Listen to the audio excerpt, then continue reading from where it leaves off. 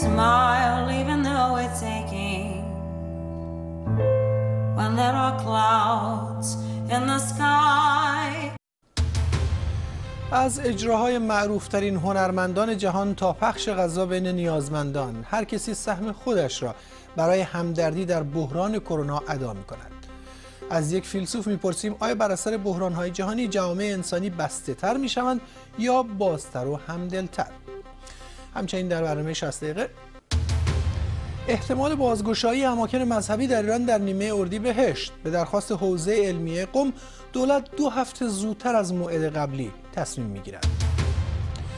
گزارش یک رسانه آمریکایی از ابتلاع چهل کارمند ارگ ریاست جمهوری افغانستان به کرونا. نیویورک تایمز می‌گوید اشرف غنی خودش را قرنطینه کرده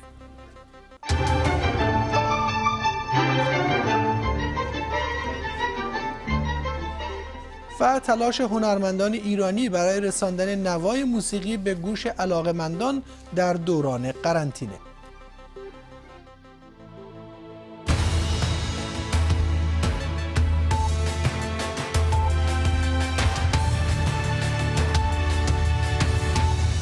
شست دقیقه. زنده از بی بی سی در لندن. در جهان و تا این لحظه بیشتر از دو میلیون و پنجاه هزار نفر مبتلا به کرونا شناسایی شدند و بیشتر از 160 هزار نفر هم جان دادند. اکثریت آنها طبق آمارهای رسمی در کشورهایی با سیستمهای درمانی قدرتمند و پیشرفته. حالا فرض کنید که دوران پرمرگ و میر و هولناکی که کرونا ایجاد کرده تمام شود. کرونا را با چه تصویری به یاد خواهیم آورد؟ کلان شهرهای خالی، بیمارانی که در راهروهای بیمارستان ها رها شدند دعوا بر سر خرید یک بسته دستمال یا شاید هم کهنه سربازی که در آستانه 100 سالگی با راه رفتن ممتد بیشتر از سی میلیون دلار برای سیستم درمانی کشورش جمع کرد. کرونا که در بیشتر از سه ماه سر از پنج قاره درآورده باعث تقویت انسانیت شده یا تضعیف آن. بیشتر در این باره حرف می‌زنیم. اول گزارشی از کاوه مشکات.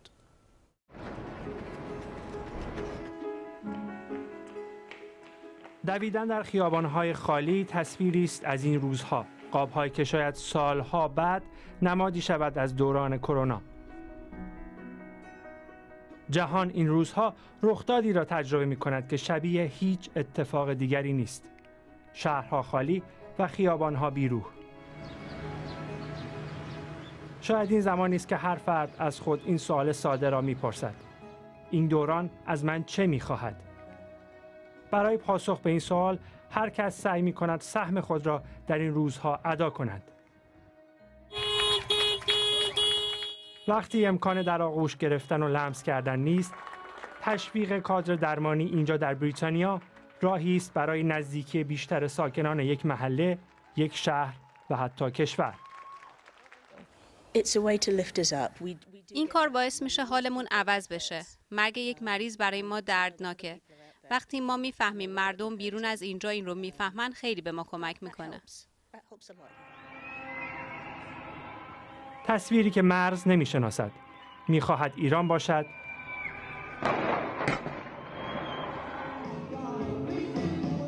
یا اسپانیا.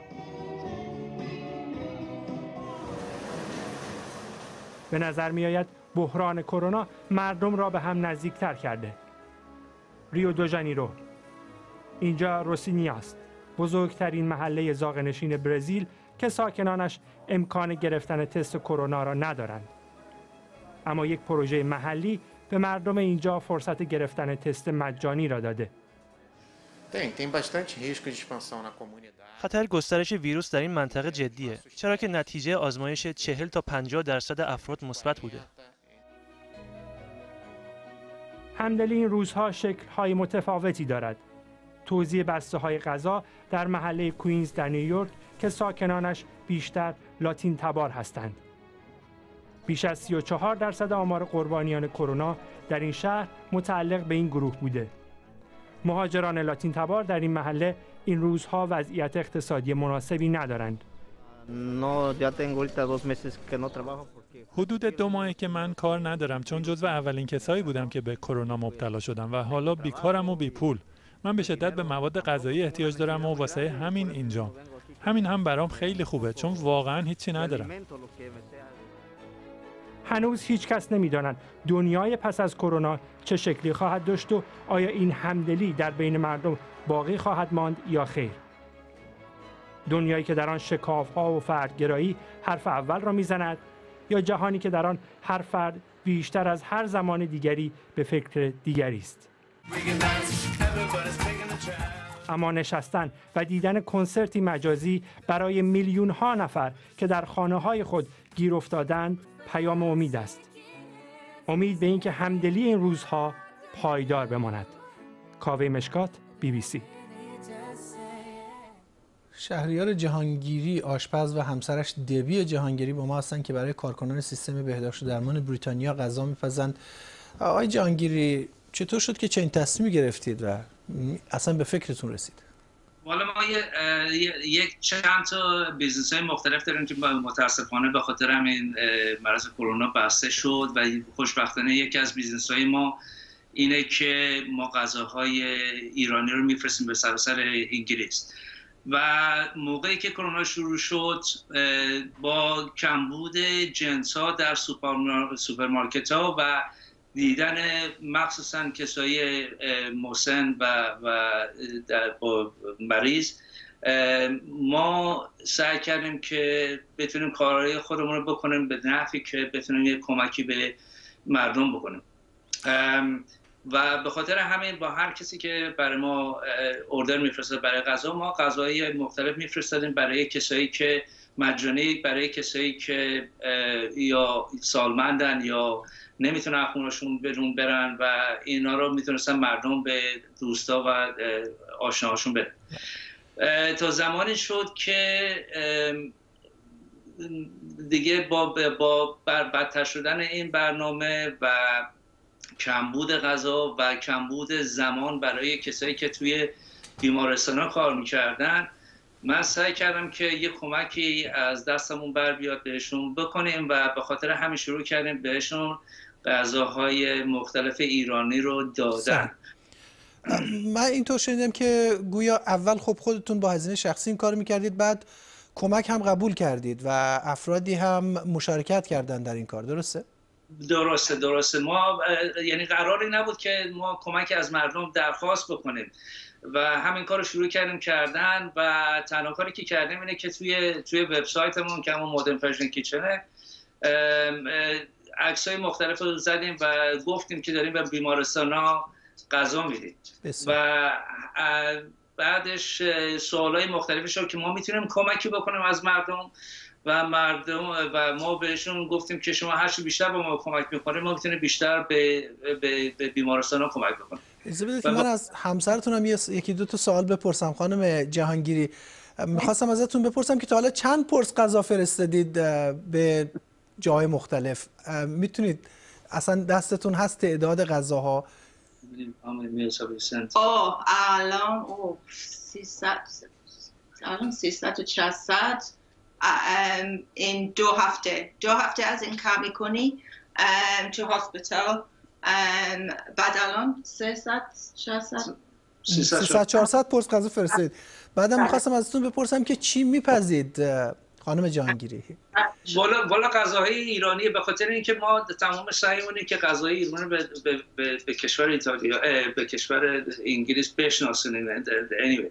ولی ولی غذاهای ایرانی و به خاطر اینکه ما به خاطر business های دیگه که من داشتم ما سعی ما business های دیگه ما توی غذاهای سالم درست کردن غذاهای سالمه. و به خاطر همین داریم غذاهای ایرانی سالمتر درست می‌کنیم. هم کم چربی تر و هم با پروتئین بیشتر و با, با, با تکنیک های مختلف که هم براشون بهتر باشه و هم بتونیم غذای ایرانی رو به, به کسای که انگلیسی هم بشناسیم بعد من شیرینی درست می‌کنم و خانم هم که شیرینی های ایرانی مختلف درست چه عالی. اسم سگتون چیه؟ این مینی مینی ماوس. خیلی ممنونم از شما و همینطور از اسمشون لیلی گفتین. مینی. آها هم, هم از مینی که در برنامه ما شرکت کردم. موفق باشید. بسیار ممنون. و اما آرش نراقی استاد فلسفه و دین در کالج مراوین در پنسیلوانیا با ما هستند. آقای نراقی ما در این مدت دو تصویر دیدیم. یکی همیاری و همدردی که یک نمونهش همین زوجی که الان باشون صحبت کردیم. و یکی دیگه هم ما خیلی از خودخواهی و منفعت طلبی شنیدیم. دعواهایی که شده در مثلا صفحه مواد غذایی یا اظهار نظرهایی که حتی در سطح سیاستمداران صورت گرفته. بحران کرونا کدوم وجه رو از نظر شما برجسته کرده؟ به نظرم میاد که پاسخ تا حد زیادی بستگی داره که شما این بحران رو چجوری کنترل بکنید. اگر شما راه حلای بیاندیشید که این بحران رو بتونید در اختیار بگیرید و کنترلش بکنید همکاری ها کاملا می‌توانه ریشه بهبود بخشیدن به اوضاع در آینده باشه.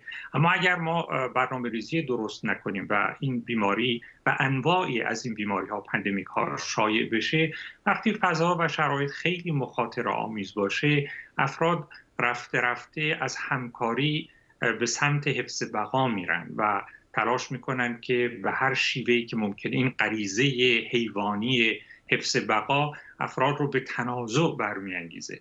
بنابراین به نظرم آینده تاثیر این بیماری بستگی داره که شما چجوری وضعیت کنونی رو تحلیل بکنید و مدیریت بکنید. ببینید به نظر من میاد که چند نکته رو باید در نظر گرفت برای مدیریت آینده جوامع انسانی تحت تاثیر ویروس کرونا. یکی در سطح جهانی و global شما ببینید pandemic یعنی این بیماری های فراگیر از یک ایده مخاطره آمیز در حلقه نخبگان به واسطه این تجربه اخیر به واقعیتی در خودآگاه عمومی ما بدل شده. قبلا فقط نخبگان هشدار می‌دادند که باید مراقب چنین خطری بود. اما امروز من و شما در زندگی روزمره خودمون این خطر رو احساس می‌کنیم. این خطر به نظرم میاد که برایند دو اتفاق است که بیماری های گسترش بیماری های واگیردار رو تبدیل به مسئله مربوط به امنیت جهانی کرده. یکی برمیگرده ریشش به این برمیگرده که ما به نحو بیرحمانه مدتهای طولانی با تکنولوژی پیشرفته که داشتیم به محیط زیست و اقلیم حیوانات حمله کردیم تعرض کردیم بله. این نگاه یک سر انسان محور به طبیعت که همه چیز برای ما و در خدمت ما آفریده شده این باعث شد که مرز بین زندگی انسانی اقلیم انسانی و حیوانی تا حد خیلی زیادی در نوردیده بشه شکسته بشه و در نتیجه بیماری ها از جهان حیوانی به جهان انسانی بتوانند جهش بکنند. این یک نکته است.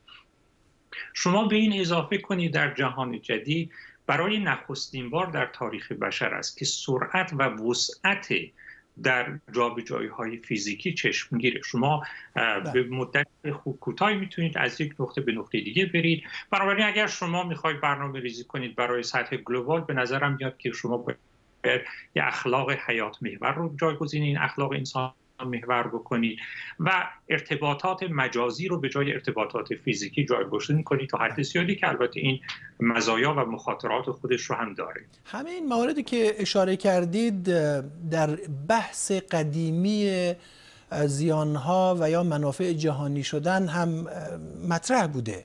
حالا در شرایط فعلی به نظر شما کشورها می‌تونن با بستن مرزهای خودشون امنیت خودشون رو بیشتر تعمین بکنند یا اینکه به گونه است که باید با همکاری با همدیگه و با باز کردن مرزها سعی در کنترل این بحران بکنند. ببینید بخشی از پدیده globalization اجتناب ناپذیر و برگشت ناپذیره. بنابراین ما به جای اینکه این ایده خام عرض کنم که جدا کردن و مرزگذاری و دیوار کشیدن رو در پیش بگیریم که عملا شدنی نخواهد بود باید ببینیم در چارچوب امکانات موجود و بالفعل چه می‌تونیم بکنیم؟ برای مثال ببینید ما می‌تونیم به جای اینکه تماس ها رو بیشتر بکنیم ارتباطات رو بیشتر بکنیم. یعنی رابطه بیشتر همیشه مستلزم تماس بیشتر نیست. سرعت جابجایی فیزیکی با سرعت جابجایی اطلاعات یکی نیست. این کاملا ممکنه که ما ارتباط های فیزیکی رو به ارتباطات مجازی بدل کنیم. من مثال بزنم. فرض کنید بنده به عنوان استاد دانشگاه گاهی وقتا برای ارائه یک پیپر از امریکا سفر می‌کردم می‌رفتم به اروپا که این سفر کلی مخاطرات به محیط زیست می‌زد و برای ارائه یک پیپر یه مقاله. امروز شما می‌تونید و این درسی است که ما امروز در آکادمیا گرفتیم که ما می‌تونیم از تکنولوژی کنفرانس هامون رو مجازی کنیم. بنابراین لازم نباشه که افراد از یک قاره به قاره دیگه برن برای فرض کنید که تبادل اطلاعات علمی. این یکی از تغییراتی که به نظر من شدنی. به این اضافه بکنم که به نظر من میاد که به محض اینکه شما تجربه کرونا و خطر بیماری های واگیردار تلقی ما نسبت به دیگری رو عوض کرده. یعنی در دیگری الان تبدیل به یک تهدید بالقوه شده. بنابراین طبیعی که پشت سر گذاشتن کرونا الگوی مناسبات انسانی ما تا حد زیادی تغییر کنه. اتفاقی که مثلا بعد از پندمی که بیماری ایدز رخ داد الگوی جنسی انسان ها مناسبات جنسی تغییر کرد. به نظر من میاد که بعد از پشت سر گذاشتن این بحران. چون خطر بیماری های فراگیر جدی و مستمر است و حالا این بیماری رو شما کنترل کنید بیماری بعدی خواهد آمد. به نظرم در روابط انسانی از جمله در روابط صمیمانه رمانتیک و اراتیک ما تغییر زیادی به وجود میاد. چرا؟ برای اینکه صمیمیت در قلمرو انسانی با تماس با حس بساوایی پیوند خورده. که البته بنیاد فیزیولوژیک داره. یعنی شما فرض کنید وقتی کسی رو در آغوش می‌گیرید هورمونای اکسیتوسین در بدن شما ترشح میشه. اما اکنون که کرونا انسان دیگر رو تبدیل به مخاطره کرده به احتمال زیاد ما باید به سمت مدل های از صمیمیت برویم که کمتر و کمتر مستلزم تماس فیزیکی تماس پوست با پوست باشه.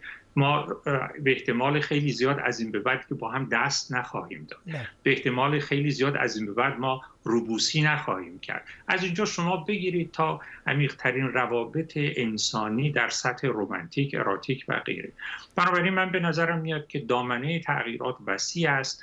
ولی اینی که ما از این رو تبدیل به یک فرصت بکنیم یا یک تهدید ویرانگر کاملا بستگی داره که ما چجور به ریشه های این بحران روی کرد روی بکنیم و چجوری با اونها معامله کنیم؟ بله. سپاسگزارم از آرش نراقی استاد فلسفه و دین کالج مراویان از پنسیلوانیا با ما. دولت ایران تصمیم گرفته تا دو هفته دیگه اماکن زیارتی و مذهبی رو باز بکنه. البته با ارزیابی شرایط لازم. مکانهایی که بعد از جنجالهای بسیار برای جلوگیری از گسترش ویروس کرونا بسته شد.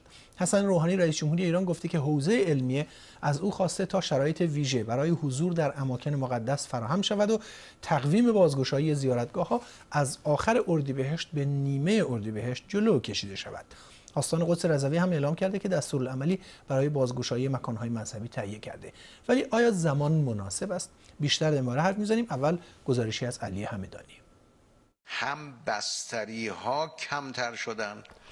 تکرار حرفهای چند روز گذشته که همه چیز خوب است و تکرار این توصیه در اوج بحران کرونا به مردم که خودشان به یکدیگر کمک کنند. همه مردم به یاری افراد نیازمند بشتابند به حال میشه از طریق مالی از طریق کالاها و اجناسی که مورد نیاز مردم هست به اونها هدیه داده بشه.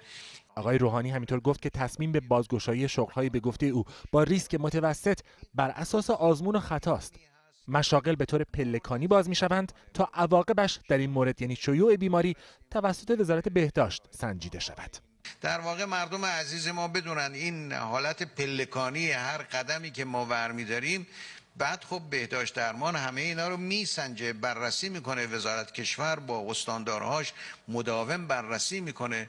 اگر ببینیم یه جایی مشکلی داره ایجاد می‌کنه خب حتما ما ناچاریم قدم رو پس بگذاریم. امروز با 1343 آمار روزانه دولت شمار مبتلایان و قربانیان همچنان روند کاهشی دارد. به گفته وزارت بهداشت در شبانه روز گذشته 1343 مبتلای جدید شناسایی شده و تنها 87 نفر جانشان را از دست دادند. خیلی متشکرم. سوالی باشه در خدمت شما. تردید روز افزون نسبت به این آمار حتی در میان مقام های حکومتی از جمله محسن هاشمی رئیس شورای شهر تهران که گفته تصور عادی شدن شرایط بر اساس آمار رسمی ممکن است بستر اتخاذ تصمیماتی در مورد رفع محدودیت ها شود. در حالی که به گفته آقای هاشمی برآوردهای مرکز پژوهش‌های مجلس شورای اسلامی نظرات متخصصان و سایر بررسی ها نشان می‌دهد آمار ابتلا و قربانیان کرونا در کشور بسیار بیشتر از عدد اعلام شده رسمی است. محسن هاشمی دلیل بالا بودن آمار ابتلا و مرگ در ایران را از جمله تأخیر در اعلام عمومی ورود کرونا به ایران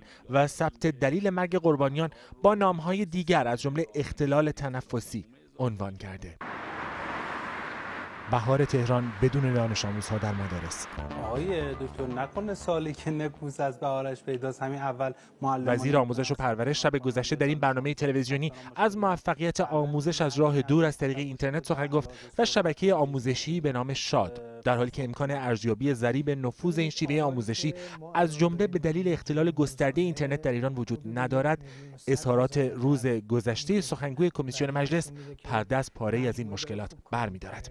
برخی از معلمان شاید در همین گوشی که باید داشته باشند مشکل دارند. دانش آموزان خیلی هاشون ندارند. اونایی که دارند والدین و دانش آموزان باز باید پیشرفته باشه. باز همین مشکل وجود دارد. مشکل اینترنت خیلی جاها فوق العاده زیاد است. قله بلند مشکلات بحران کرونا. شیوه مقابله و مدیریت این بحران در ایران مورد انتقاد بسیاری است. مقامات از جمله رئیس جمهوری اسلامی ایران می‌گویند آنچه می‌کنند بر اساس فرهنگ مردم است. مثلا ماه رمضان نزدیک است و به گفته آقای روحانی مردم می‌خواهند به مساجد و اماکن مذهبی بروند تا به گفته او دل سبک کنند. اماکن مذهبی از آخرین نقاطی بودند که بر اثر شیوع کرونا تعطیل شدند. همان بسته شدن موقتی اما جنجالی بود. و ما هم دولت حالا آقای روحانی امکان بازگشایی اماکن مذهبی را در نیمه این ماه مطرح کرده. او امروز به طور ضمنی گفته دولت زیر فشار حوزی علمی قم است. البته جلسه اول پیشنهادش پیشنهاد پایان اردیبهشت بود. منتها خب جناب آقای عرافی که از حوزه علمی قم در اینجا حضور دارن ایشون نظرشون این بود اعضا هم همه قبول کردن که پایان اردیبهشت رو ما بذاریم نیمه اردیبهشت. خب این یک ابتلای عمومی است یک آزمون است. دغدغه های این روزهای حکومت در ایران را شاید بتوان در فتوای تازه آیت الله خامنه ای هم پیدا کرد. او در این فتوا خیال آن دسته را که در دوران شیوع کرونا نگران تاثیر روزه بر سلامتشان هستند راحت کرده و گفته اگر خطر ابتلا به بیماری یا تشدید آن وجود دارد روزه لازم نیست ولی غذایش چرا؟ علی همدانی بی بی سی دو میهمان داریم مهدی خلجی پژوهشگر دینی و همینطور پژوهشگر ارشد مؤسسه واشنگتن از واشنگتن دی سی با ما و محمد هدایتی کارشناس امور مذهبی و مدیر مسئول شبکه تلویزیونی ماهواره سلام از اورنج کانتی کالیفرنیا که بعدا به برنامه خواهند پیوست. فعلا آقای خلجی من می‌خواستم از شما بپرسم که چی فکر می‌کنید درباره اینکه دولت تصمیم گرفته گویا که ظرف دو هفته آینده اماکن مذهبی رو باز بکنه؟ خب یه نکته جالبی که در میان هست همیشه وقتی بحث دین و معنویات به میان میاد همه تصور می‌کنن که دین و معنویت در مقابل مادیت قرار داره. ولی واقعیت این هست که مادیت دین خیلی مهم هست و دین قوامش به مادیتشه و تجلی این مادیت در مکان و در فضا هست. یعنی هم place هم space یعنی فضا و مکانی که دین برای دین بودن اشغال می‌کنه. از معابد گرفته از مکانها پرستشگاه ها گرفته حالا در اسلام از مساجد گرفته. در تشیع حسینی ها تکیه ها امامزاده ها حرم ها و همینطور مراسم مذهبی که به نام روزه یا دیگر آین های مذهبی و مناسک مذهبی برگزار میشه اینها جز مقومات دین هستن. یعنی دین بدون اینها وجود نداره و نمی‌تونه تحقق داشته باشه. دینی که نتونه ظهور مادی پیدا بکنه در حقیقت وجود نداره. و مسئله این هست که این جنبه دیگری هم داره و اون جنبه تجاری و business ی نهاد دین هست. یعنی به هر حال دین نهاد دین یک جنبه مالی هم داره. یعنی داد و ستدهای مالی که صورت می‌گیره برای اینکه این نهاد این سازمان اجتماعی به بقای خودش ادامه بده. و این داد و ستدهای مالی هم بستگی داره به ارتباط فیزیکی و مادی افراد انسانی با هم دیگه.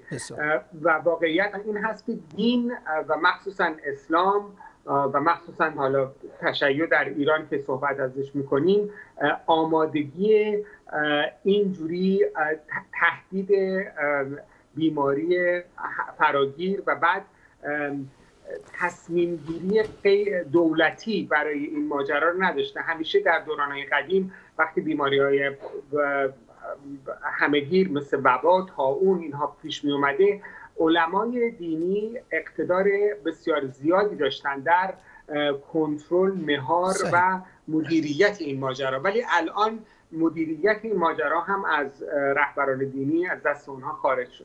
بسیار خب آقای هدایتی شما چی فکر می‌کنید؟ آیا از نظر شما لازم هست که اماکن مذهبی ظرف دو هفته بعد باز بشه یا نه؟ بسم الله الرحمن الرحیم. خدمت شما بینندگان محترم. سلام عرض کنم مهمان گرامیتون. ببینید به نظر بنده نظر شخصی بنده اصلا بستن این اماکن کار اشتباهی بود. به جهت اینکه به نگاه آماری ما الان دنیا دنیای آمار هست و همه چیز رو به راحتی میشه روی کاغذ محاسبه کرد. هم سازمان بهداشت جهانی هم سازمان های داخل ایران آمار دادن. اماکن مذهبی نیم درصد در اون احتمال داره که مردم درگیر بیماری کرونا بشن.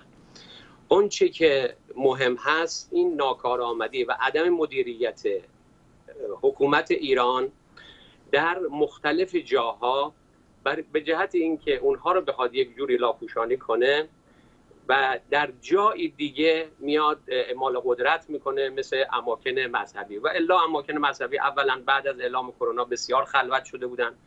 ثانیا سنهای بزرگی دارند همون گونه که در جاهای مختلف در فاصله های مختلف دو متری می‌تونن بشینن به اونجا به کارشون بپردازن. در اون اماکن مذهبی هم می‌تونستن بشینن و عبادت بکنن. مهم این است که ما به این مسئله بپردازیم که آیا اسلام به مسئله بهداشت به مسئله درمان اهمیت میده یا نمیده. این یکی از مسلمات مسائل دینی هست. ان نظافت من ایمان پیامبر 14 قرن قبل فرمودن. جالبه که من یک اشاره کنم به یک مقاله هست نویسنده نوشته امریکایی در به نام کریچ کانسیدین اگر تلفظ اسمش رو درست کرده باشم در روزنامه نیوزویک آمریکا. جالب من دعوت می‌کنم بینندگان رو و شما و هر کسی که علاقه من هست که مطالعه کنه. مقاله جالبیه و نوشته ها و مطالب جالبی رو از قول پیامبر اسلام نقل می‌کنه.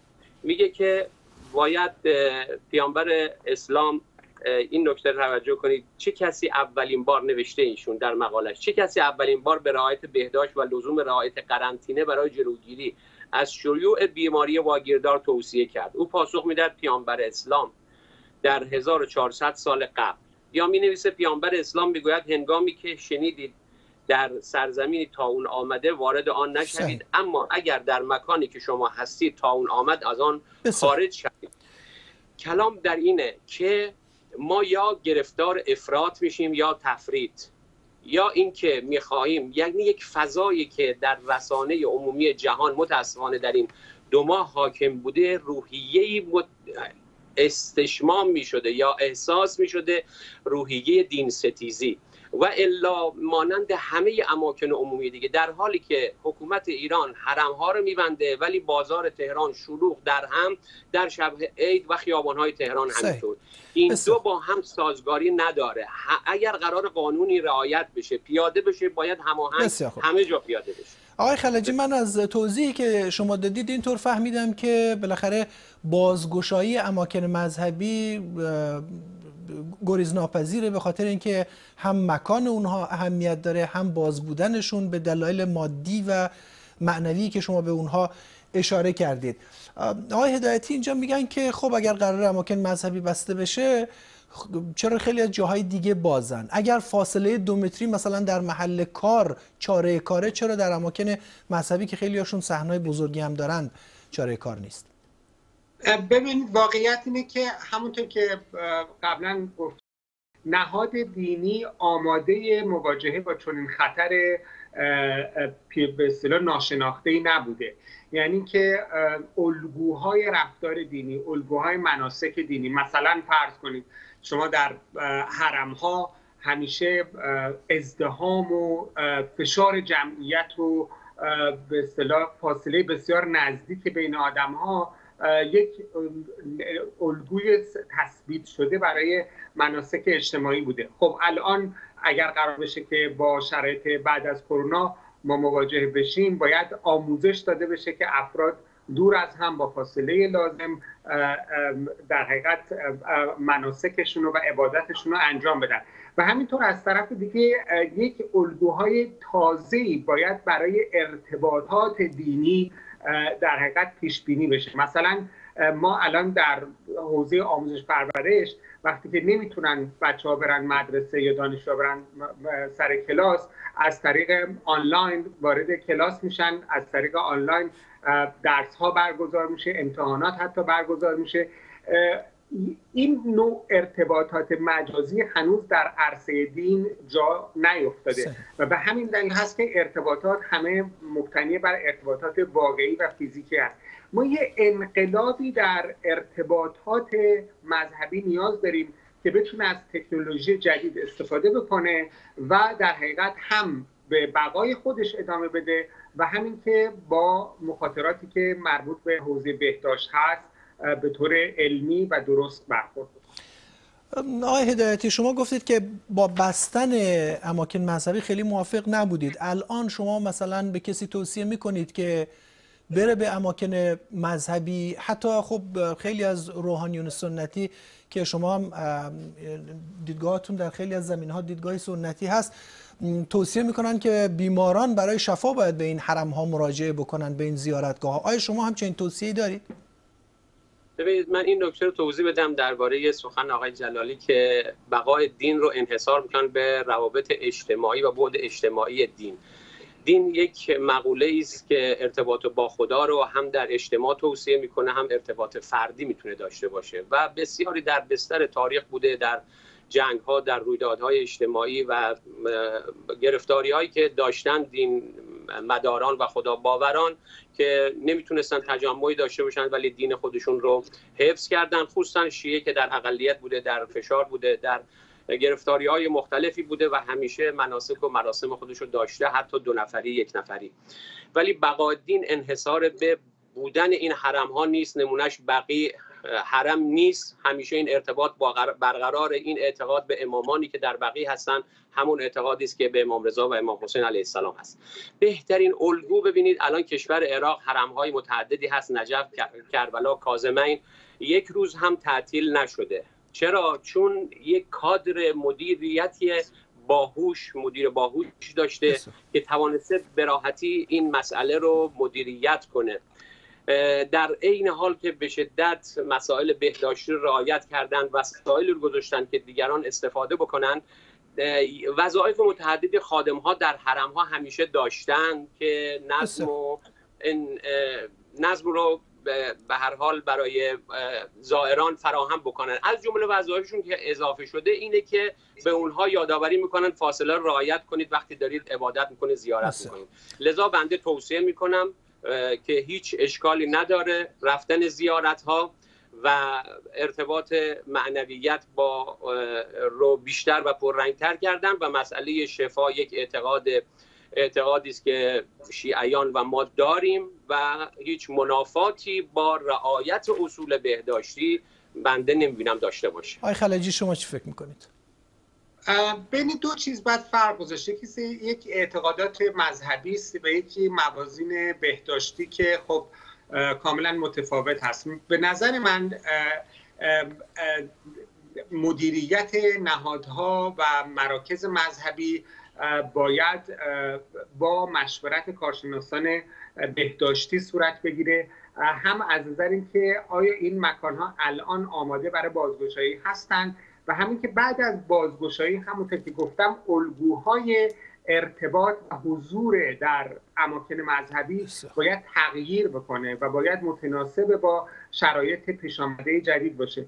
اینکه حوزه علمیه بخواد با اعتقادات مذهبی خودش که خب بسیاری از اینها قابل توجیه هم نیست حتی از نظر مذهبی با این اعتقادات مذهبی بخواد تصمیم بگیره به طور به اصطلاح مستقل در مورد بازگشایی یا زمان مناسب برای بازگشایی مراکز مذهبی من فکر می‌کنم یک آسیبی می‌زنه نه فقط به خود مذهب بلکه به کل سلامت جامعه و مسئولیت روحانیت رو نسبت به این مسئله خیلی بیشتر. آقای هدایتی خیلی کوتاه وقت زیادی نداریم. اگر نظری داشته باشید در مورد این نکته آقای خلجی که باید نسبت به سلامت عمومی احساس مسئولیت بشه. قطعا باید نسبت به سلامت عمومی احساس مسئولیت بشه.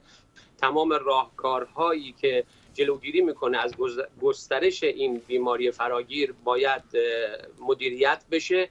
ولی طبق آمار که عرض کردم نیم درصد اون هم احتمال احتمالی که ما بریم در خیابون ماشین به ما بزنه بالای 15 درصده.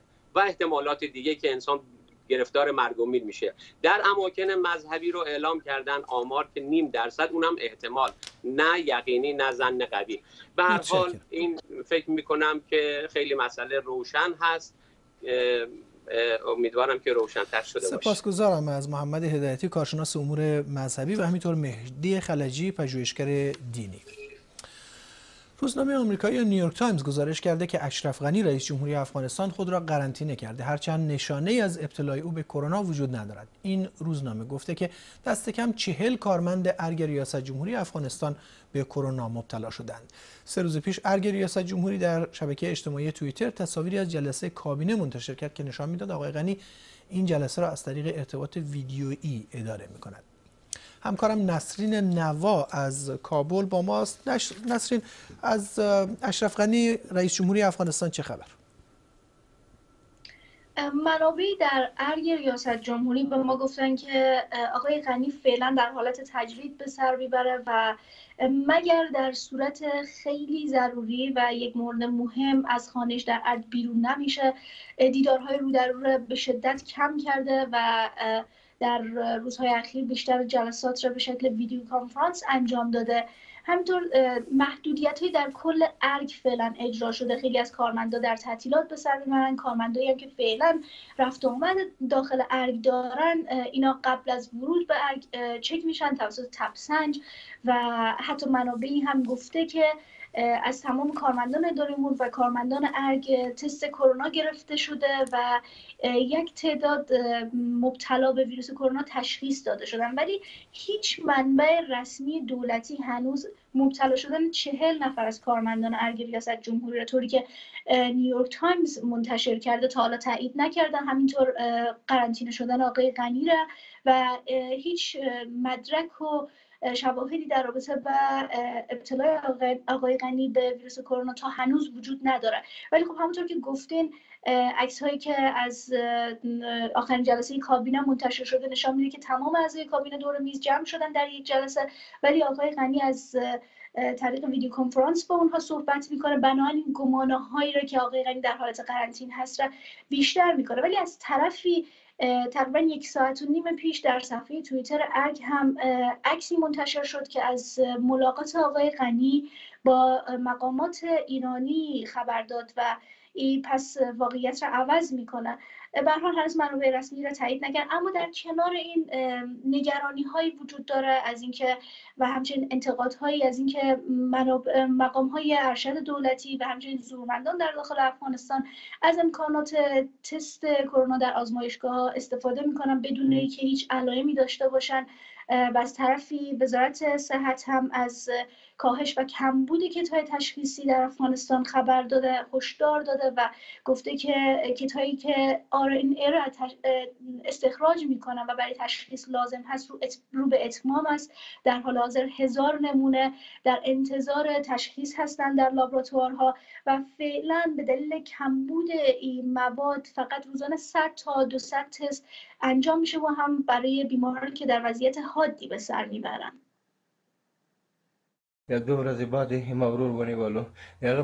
می‌برن شکایت برادر یکی از دکترهایی که هفته پیش در کابل به دلیل ابتلا به ویروس کرونا جانش را از دست داد. او تأخیر در نتیجه آزمایش کرونا برادرش را عامل مرگ و ابتلای اعضای دیگر خانواده می‌داند. از برای خدا نتیجه آزمایش دکتر آریوبی ده روز بعد آمد چرا به ما حداقل یک زنگ نزدند؟ حالا 46 نفر از خانواده که همه در این آپارتمان زندگی می کنیم درگیر این ویروس شده. در شمال افغانستان فاریاب ده ها فرد مشکوک به کرونا در بلا تکلیفی. به دلیل نبود امکانات آزمایش. در اعتراض به طولانی شدن زمان اقامت و انجام نشدن آزمایش قصد ترک شفاخانه کردند. والی این ولایت می‌گوید نمونه ها به آزمایشگاه بلخ فرستاده شده اما این آزمایشگاه به دلیل نبود کت تشخیصی از توقف کار خبر داده. آزمایش های غیر ضروری یکی از دلایل آن. تعداد زیادی کسا کارمندای بلند حکومتی و زورمندا هستند که تست حواسانه انجام میتن خودشان جور و تیار هستند از ما هم که تکل هستن اینا تست حواسانه انجام میتن دادخواهی ما یا تقاضای مهمی است که یک عدالت در به وجود بیاد تستا تنها برای کسایی که علای موسفی دارن و در بستر افتیدن و بر از اینا تست صورت روز گذشته گزارش هایی از دستور ریاست جمهوری به وزارت صحت برای انجام آزمایش کرونا از خانواده هادی مسلمیار رئیس مجلس سنا منتشر شد. که ارگ آن را تکذیب کرد. اما واکنش هایی را در پی داشت. زکی دریابی مدیر مسئول روزنامه اطلاعات روز در صفحه توییتر خود نوشته که مسلم یار را چرخبال می‌دهند که خانهاش برود. حکم می‌دهد که خانوادهاش را تست کنند. در قندهار دایکندی و فاریاب مردم دو هفته منتظر نتیجه آزمایش است. یک تن در دایکندی پیش از اینکه نتیجه آزمایشش مشخص شود جان داد. وزارت صحت نیز در دو نشست خبری اخیر تحمیل فشار از سوی زورمندان را برای انجام تست تایید کرده ولی از هیچ فرد مشخصی نام نگرفته. این را باید همه بپذیریم که در افغانستان فرهنگ زورگویی وجود دارد. از این چشم پوشی کردن نمی توانیم که نفوذ این افراد در هر جاست. اما به شکل مجموعی نیست که فشار جمعی وارد کنند. از بافت اجتماعی معلوم است که اگر ما نادیده بگیریم در واقع دروغ گفته ایم هم زورمندان وجود دارد و هم زورگویی همزمان با سیر سعودی آمار ابتلا شکایت از عدم رسیدگی به افراد مشکوک و انجام نشدن تست به موقع به دلیل کمبود کتهای تشخیصی این روزها اوج گرفته. وزارت صحت تایید کرده که با وجود کمک های جهانی فقط سه هزار بسته تشخیص کامل دارد و تنها موارد عاجل تست می شود. موضوعی که در صورت ادامه جهش آمار نگرانی ها از نبود ظرفیت لازم را بالا می برد. نسرین نوا بی بی سی کابل حکومت اقلیم کردستان عراق کمیسیونی تشکیل داده برای تحقیق درباره احتمال تحویل مصطفی سلیمی زندانی کرد محکوم به اعدام از این منطقه به ایران مقام های قضایی ایران میگن مصطفی سلیمی طراح اصلی فرار دست جمعی زندانیان از زندان سقز بود. او که 17 سال در زندان بود توانست همراه ده ها زندانی دیگر فرار کند. اما ده روز بعد دستگیر شد و دو روز بعد او را اعدام کردند. خانوادهش می‌گویند پیش از اعدام با آنها گفته بود که خودش را به اقلیم کردستان عراق رسانده. به گفته فعالان حقوق بشر او زندانی سیاسی بود و میبایست به سازمان ملل معرفی می‌شد. ژیار گل گزارش می‌دهد. جمعه هشتم فروردین زندان مرکزی شهرستان سقز در استان کردستان جایی که صدها زندانی در شرایط بهداشتی نامناسب حبس شدند زندانیان و خانواده های آنها نگران شیوع ویروس همهگیر کرونا در زندانند. درخواست بسیاری زندانیان برای آزادی موقت رد می شود. زندانیان شورش می کنند. این تصاویر فرار زندانیان از درب اصلی زندان را نشان می دهد. بسیاری ها با پای برهنه و دمپایی از محل می گریزند. 74 زندانی موفق به فرار می شوند. ساعتی بعد نیروهای امنیتی و اطلاعاتی به منطقه اعزام می شوند. خروجی های شهر سقز بسته می شوند. یکی از زندانیان فراری مصطفی سلیمی بود. عضو سابق حزب دموکرات کردستان ایران که 17 سال پیش به اتهام محاربه عضویت در یک حزب ملحد و سرقت مسلحانه به 15 سال زندان و اعدام محکوم شده بود. زندانی که چیزی برای از دست دادن نداشت. مقامات قضایی می‌گویند آقای سلیمی زندانیان شورشی را رهبری کرده بود. لیدر اصلی و در واقع طراح اصلی فرار از زندان در شهر مرزی بانه توسط نیروی محترم انتظامی دستگیر شد. دو روز پس از دستگیری مصطفی سلیمی اعدام شد. روز پیش از اعدام به خانواده او اجازه داده شد برای آخرین بار با او دیدار کنند. بستگان او می‌گویند مصطفی سلیمی به آنها گفته که در اقلیم کردستان عراق دستگیر شده و به ایران تحویل داده شده بود. عموم خودش گفت به پنجوین در اقلیم رفته. او رو به اداره امنیت بردن به ایران زنگ زدن و نیرو از ایران رفته و اون رو در مرز تحویل گرفتن. عموی خوبم را از دست دادم. در پنجوین سلیمانی کسی به کمکش نرفت. منطقه پنجوین تحت کنترل اتحادیه میهنی کردستان عراق است. مقامات این حزب می‌گویند مصطفی سلیمی قبل از رسیدن به کردستان عراق در ایران دستگیر شده بود. هیچ بلگه هیچ سندی در دست نیست که نشان دهد او به اقلیم کردستان آمده باشد. برعکس مدارک نشان می دهد که او در کجا ایران دستگیر شده. کسانی با طرح این اتهامات به دنبال کاهش اعتبار اقلیم مردم و اتحادیه میهنی کردستان هستند که موفق هم نخواهند شد. اما خانواده او می‌گویند مصطفی سلیمی توانسته بود از مسیر 100 کیلومتری سقز تا مرز بگذرد و خود را به منطقه مرزی پنجوین اقلیم کردستان عراق برساند. این آخرین عکس مصطفی سلیمی است. فعالان کرد می‌گویند او اینجا در مسجد روستای مرزی سیاگوز در اقلیم کردستان است. فرش پریز برق و رنگ دیوار پشت او با عکس های مسجد این روستا که سال پیش در صفحه فیسبوک منتشر شده شباهت بسیار زیادی دارد.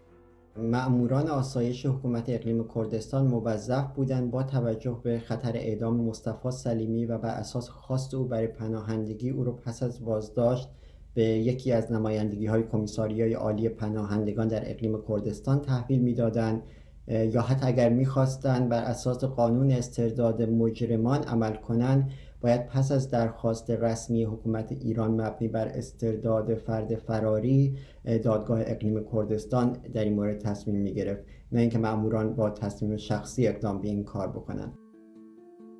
حسین خوش معاون سیاسی و امنیتی استانداری کردستان گفته برای مصطفی سلیمی در سال 82 به جرم مشارکت در قتل سه مأمور نیروی انتظامی حکم اعدام صادر شده بود و این حکم در شرف اجرا بوده.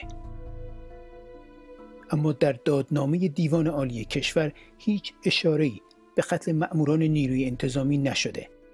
وکلایی که از محتویات پرونده او آگاهند می‌گویند مدارک محکمی برای اثبات مشارکت مصطفی سلیمی در درگیری با نیروهای انتظامی در پرونده موجود نیست.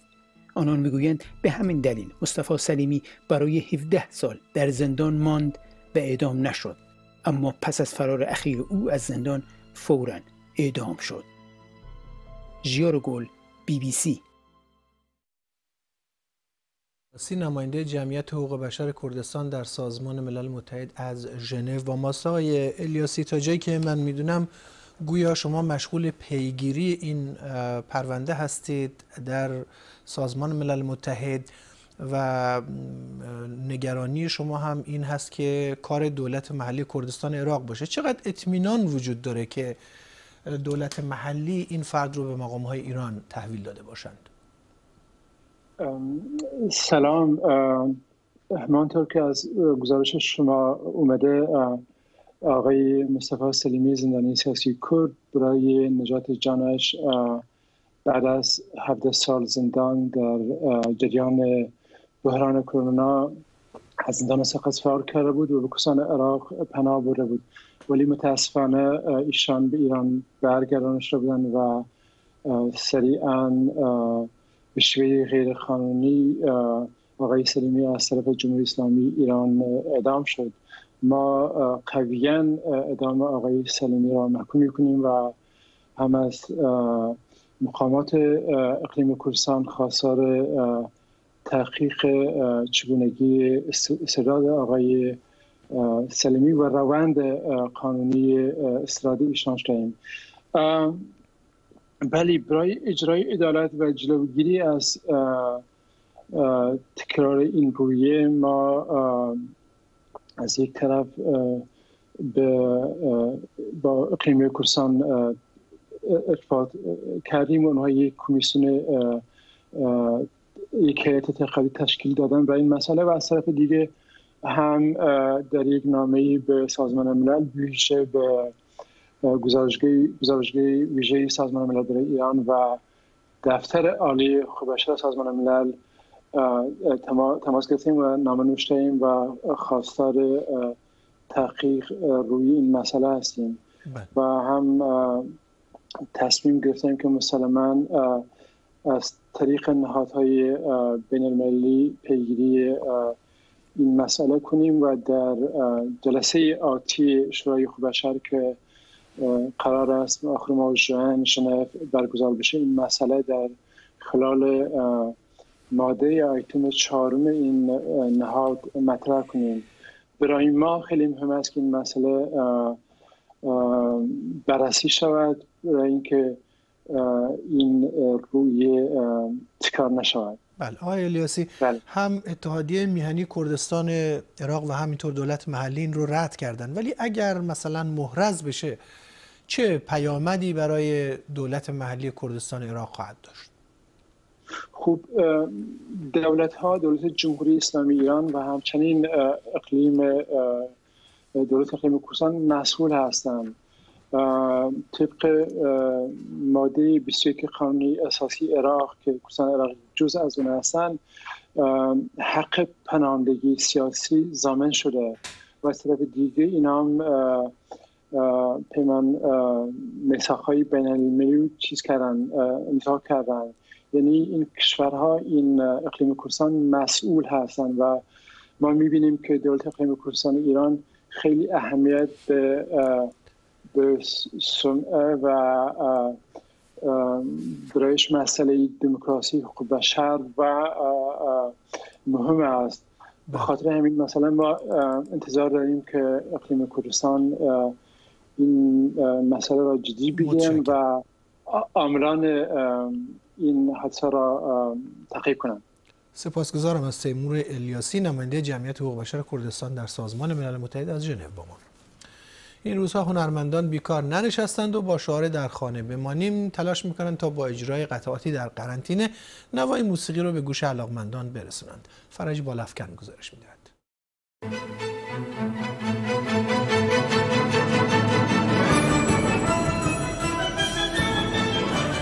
این صدای ارکستر سمفونیک تهران است که قطعه پایانی سمفونی نوه بتوون را می نوازد. اما این روزها با آغاز بحران همهگیری بیماری کووید 19 از اجراهای پرشوری از این دست خبری نیست.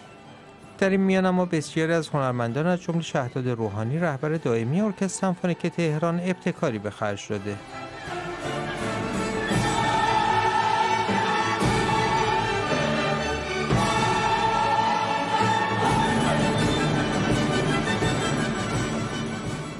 این روزها دنیا با پدیده جدیدی مواجه پدیده ای که سلامت صدها هزار انسان رو به مخاطره انداخته. ولی نبز زندگی همچنان می‌زنه و موسیقی در زندگی ما جریان داره. من از نوازندگان و دوستانم خواستم که اجرای آثاری از موسیقی کلاسیک رو برای ما ارسال کنن. تا ما موسیقی رو به خانه های بیاریم.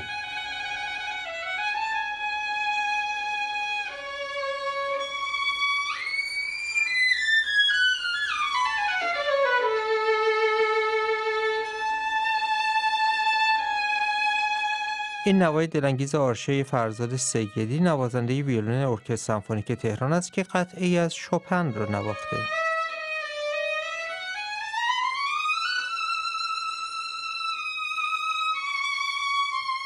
بسیار از اعضای ارکستر سمفونیک تهران به درخواست رهبرشون پاسخ مثبت دادند که از جمله آنها ماه فلاحی نوازنده فلوت دو ارکستر است.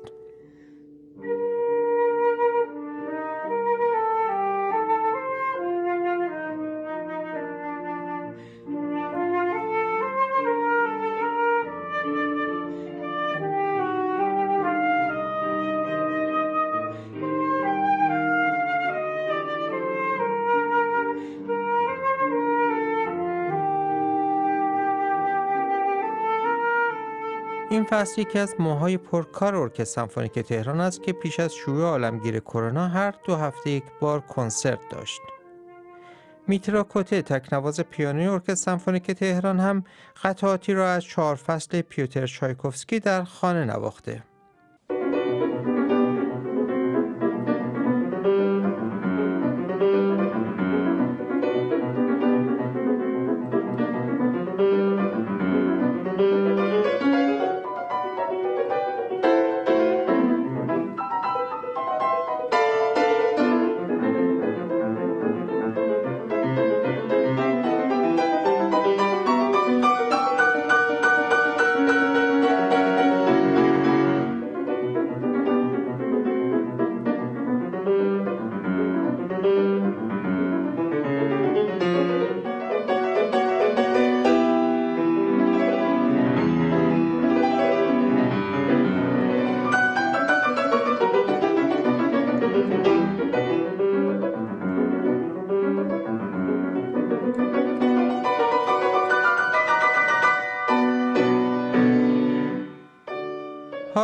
حکایت به اینجا رسید بگذارید نمونی از اجرای منفرد اما گروهی گروه ارکستر ایران را شاهد بیاوریم که قطعه سبکبال اثر حسین دهلوی را باز آفرینی کرده آن هم به یاد خالقش که چندی پیشتر گذشت.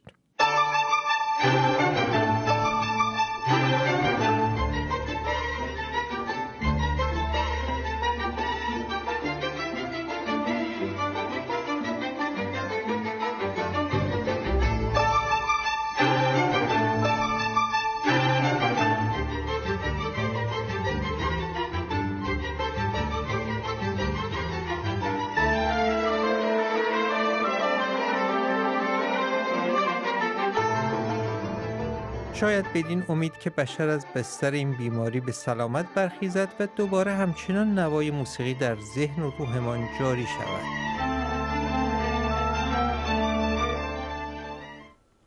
ممنونم از اینکه این 60 دقیقه رو تا پایان همراهی کردید.